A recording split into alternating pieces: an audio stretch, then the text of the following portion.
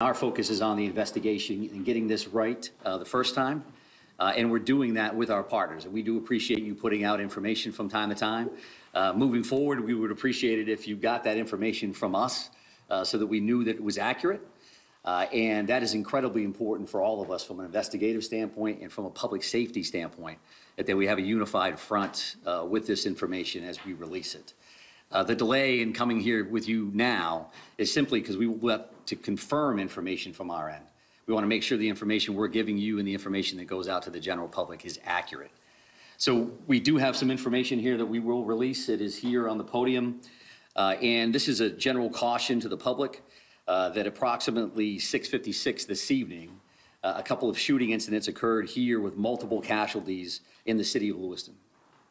And police are currently searching for a Robert R. Card, 4/4 of 1983 of Bowdoin.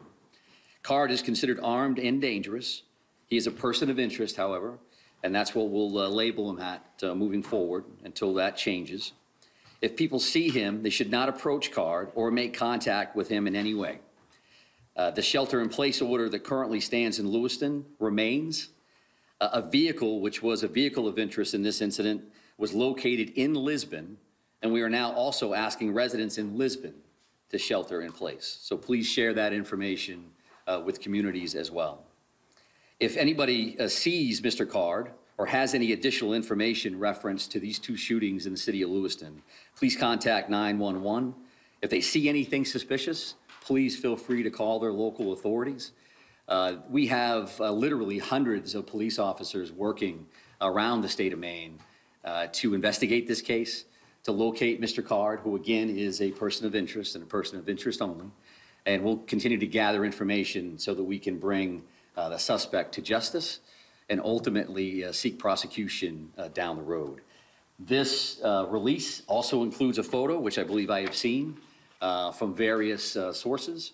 I would also let you know that we have created a reunification location, and that would be at the Auburn Middle School, so in the neighboring community of Auburn, at 38 Falcon Drive. Again, that's the Auburn Middle School. And when I say reunification uh, center or location, what that means is that if somebody has a question or they have a concern, they can't find a loved one, they believe that uh, a friend or a family member may be involved in what occurred here tonight uh, in Lewiston, that they could respond to that location. Uh, We will have some of our behavioral health liaisons, counselors on, on, on site, uh, and we'll also be providing information as uh, it becomes available to us. As you can imagine, and as you know, uh, there are multiple scenes in the city to include multiple hospitals, uh, multiple follow-ups, a lot of witnesses we're speaking with, and a lot of leads. Uh, The general public has been very cooperative uh, and very forthcoming with information. So I would expect if we have additional information, we'll be happy to come back and share it with you. Uh, I know that uh, from the city of Lewiston standpoint, probably going to close City Hall after this briefing and probably move everybody out. Uh, But again, we appreciate your partnership and your patience. Um, I would offer to take questions, uh, just so you know that I probably won't have answers. Uh, And as long as you know that going in, uh, there's no disrespect intended in that. Um, Feel free to ask a couple, and if I think we can get there, uh, then I'm happy to answer those. If not, uh, we do have work to do on behalf of our communities, and that's our primary focus uh, this evening. There are many specific figures about casualties out there. The sheriff, Sheriff Samson told me up as many as twenty. Uh, I just want to give you those opportunities to set the record straight on that. Yeah, reaching Right now. I do appreciate that, and I know that there's been a lot of numbers out there. Uh, This is a very fluid situation, so the last thing I want to come up is give you a number and then three hours from now, change that one direction or another. So I don't have firm numbers on that. Uh, And when I do, we'll be happy to share those uh, with you, because it's an important piece of healing and it's an important piece of information for all of us to be aware of. Um, But I don't have a firm number on that. Well, at least 16, right? I think I just answered that question to say that I'm not going to give you any specific numbers. Um, And there's been a lot of numbers all over the map uh, all evening, and I don't think that that's helpful um, because it doesn't help family members. It certainly doesn't help the community to see, well, they just said this and they said that. Um, So if you want accurate information, I'm prepared to give that to you when I have it. Uh, I don't have that right now. Does the suspect have any known criminal history with law enforcement? Is he, is he someone who's been on the radar of, of state police or local police to your knowledge? Well, Mr. Card, who we're speaking about right now, is a person of interest and a person of interest only, right? I'm not listing him as a suspect at this point, um, and we're not prepared to go into his background or anything else that we may be aware of. One more question? You're only looking for one shooter, correct? We're looking for this person of interest right now, and, uh, and that's what we'll label, uh, and and speak about, uh, at this particular moment. When we have additional information, I'm happy to share that. No. So thank you very much, I appreciate that. Uh, again, thank you for your time, and I know, uh, Assistant City Manager uh, O'Malley will make, uh, arrangements, I think, to move everybody out of the building. So thank you very much, I appreciate it. These, uh, these are our, the flyers that we were. You've been listening live to Mike Sauschuck. He's the Commissioner of the Maine Department of Public Safety. He wanted to give the public an, a brief update on the very fluid situation that he described a mass casualty event in Lewiston, Maine, happening tonight and still underway. Uh, citizens there are asked to shelter in place in two different locations, urging the public remain very vigilant. Uh, we know that there has been a suspected shooting. Two locations are uh, mentioned a bowling alley in Lewiston, as well as a bar and grill. They also released a photo of a person of interest and identified that person uh, in the photo. And I want to bring in Aaron Katersky, who has details uh, as senior investigative reporter here. Aaron, I know you've been digging into the background of this person of interest. His name is Robert Card. He's 40 years old, and police are calling him a person of interest, and they say there is still a potential danger to the public. And so while they look for him, they've asked people in the area of Lewiston and some neighboring communities to stay in their homes, to not come outside, and if they do see this person, to simply call police and not approach because he is considered armed and dangerous. And you're learning more about his background as well from law enforcement authorities. Law enforcement sources tell ABC News that Robert Card has a military history. He is a firearms instructor, and he also spent two weeks in a mental health facility over the summer after we're told he reported hearing voices and made threats to shoot up a National Guard facility in Saco, Maine. So they are looking at a person of interest who has both military history and mental health history. Absolutely. Now, authorities in Lewiston have released photos, surveillance photos of this person of interest um, armed with a high powered tactical weapon, an assault style weapon. Uh, we understand that, you know, we talked to eyewitnesses inside the bowling alley, and a woman, Riley Dumont, described hearing gunshots uh, as a youth bowling league was underway. I want to bring in now uh, Pierre Thomas, uh, our Chief Justice correspondent in Washington.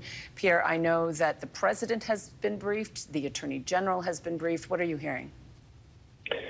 again, um, one of the key things to, point out here is uh, the commissioner just said that hundreds of law enforcement people are involved.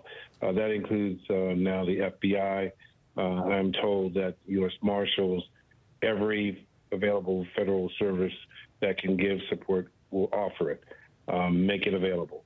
Uh, this is the worst case scenario um, mass shooting, heavily armed shooter, still at large, uh, possible mental health issues. Um, this is, you know, all hands on deck situation, I'm being told. Uh, the fact that the Attorney General, President were briefed as quickly tells you the scale of the carnage. And um, suffice it to say, law enforcement is on edge and wants to get this resolved as quickly as possible. And ABC News is reporting there are at least 20 people believed dead, uh, dozens more perhaps injured at multiple hospital locations across Lewiston, Maine. This is the home of Bates College, about some 35 miles north of Portland, Maine. Again, this person is still not in custody, this person of interest, um, described by authorities as armed and dangerous. Um, and, and citizens are urged to shelter in place both in Lewiston and in a location where his car was found. They are being urged, Juju, to, to shelter in place because this person of interest is considered armed and dangerous and because he is not in custody, perhaps also knowing some of his history with the military and the fact that he's a firearms instructor, so well familiar with, uh, with handling firearms. They were able to track down a car that's associated with the suspect, the white Subaru you're seeing on your screen now, that was found in Lisbon, Maine, which is several miles from Lewiston. Uh, and they, the authorities are now urging people in Lisbon, Maine, where that vehicle was found, to also shelter in place while this manhunt continues. And I want to bring in now our former FBI special agent and ABC News contributor, Brad Garrett. Now, Brad, we're being told that there's a reunification center at a middle school. There's clearly a lot of, of uh, dynamic and fluid situation here. What can we expect in the coming hours as this manhunt continues? So we, I, we don't know, obviously, if Lisbon is relevant as to where this suspect might be. However, he drove there for some reason. So I would suggest that people that go on the run typically go to locations where they have been before. Uh, that's not always the case, but it tends to be familiarity tends to drive really most of us in a particular direction. And so, is he on foot? Did he leave the weapon behind? Obviously, I don't know the answers to those. That, those become uh, completely relevant. Um, does he have a cabin or a location or a lake that he goes to in the past? These are all questions I'd be asking the family to see if they could track him because there was reporting earlier that the family got involved in some form or fashion. That, that makes sense to me. Saw his picture, called, called him in, uh, and they started looking for him. So all of those things can take you in a potential direction where he might be.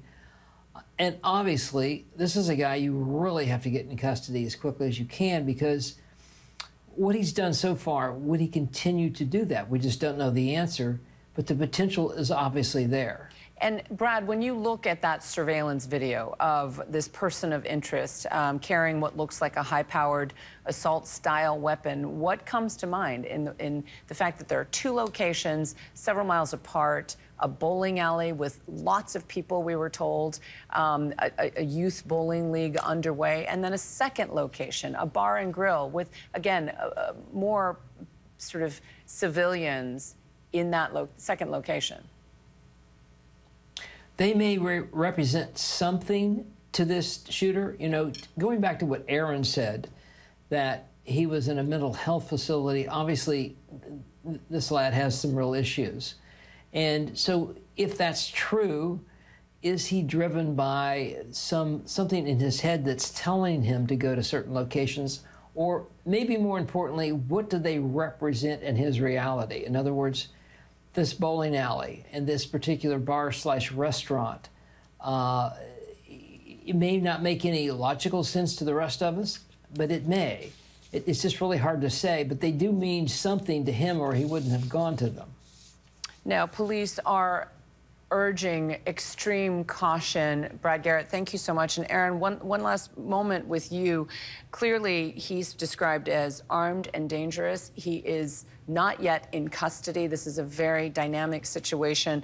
Um, knowing what you've now learned about his background, where do you think this investigation heads? It's very worrying, Juju, because he has now been at large for almost five hours. The first shots rang out in Lewiston, Maine just before 7 p.m. Eastern Time, and the authorities still have not been able to place this person of interest into custody. He's not being called a suspect, but they are considering him armed and dangerous, Robert Card.